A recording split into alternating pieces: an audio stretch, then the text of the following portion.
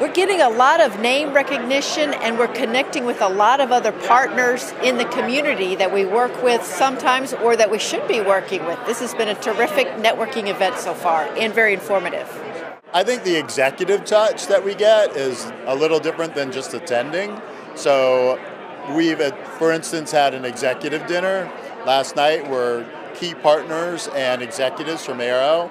So we got to do planning in a more um, or a less formal atmosphere than we otherwise would have had. I think the most important benefit is is that we're able to get our name and brand out there to partners who may not know who we are right now.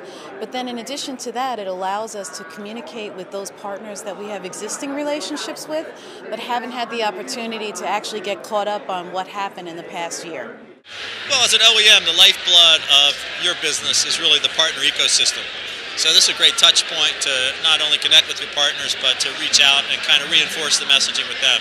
Because, you know, everything's dynamic. So this is a good refresh point and, you know, connecting point to network with uh, existing partners and then potentially outreach for new.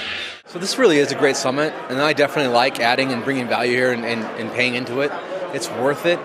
Uh, you know, the contacts and just the, the attention that's given here is also a huge benefit. So there's a lot of resellers, there's a lot of other people that are coming out, and they're going to see my name as a part of that. That's something that I want because I want to build my business through Immix.